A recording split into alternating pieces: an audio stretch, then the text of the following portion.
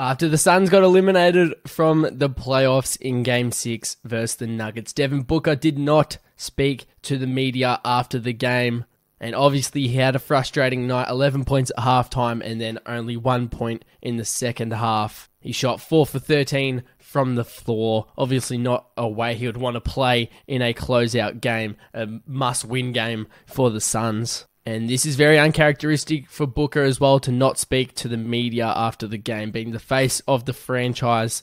Local media members couldn't even recall the last time he left the arena without speaking to the media and fulfilling those obligations. Now, obviously they didn't have Ayton or Chris Paul, which would have hurt, but the Nuggets were just dominant.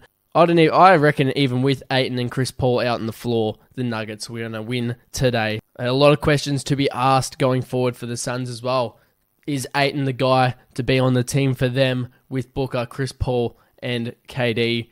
Who else can they get? Who else can they bring in? Monty Williams this is two years in a row that they've absolutely crashed out in the playoffs. They choked a 2 0 lead in the finals the year before that. A lot of question marks in Phoenix.